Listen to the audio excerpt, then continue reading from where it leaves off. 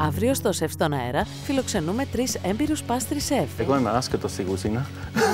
Ο Ευγένιος Βαρδακαστάνης φτιάχνει κρέμα γιαούρτι με λευκή σοκολάτα και φράουλα. Και όταν λέμε λίγο, εμείς βάζουμε αρκετό. Ο Γιώργος Πλατινός φρουτοσαλάτα με κρέμα, μαρμελάδα και μαρέγκα. Το κάνω λίγο μπαρμπάτο. Μπαρμπάτα θα το κάνουμε, τέλεια. Και ο Μαρίνος Κοσμάς μπανάνες μπάρμπεκιου με κράμπλ φυστικό βούτυρου. Αλλά είσαι σίγουρος ότι τρώγεται; Ναι, ναι, Δεν ναι. έκανα Γι' αυτό είμαι παρεστησιογόνο. σίγουρος. Όχι.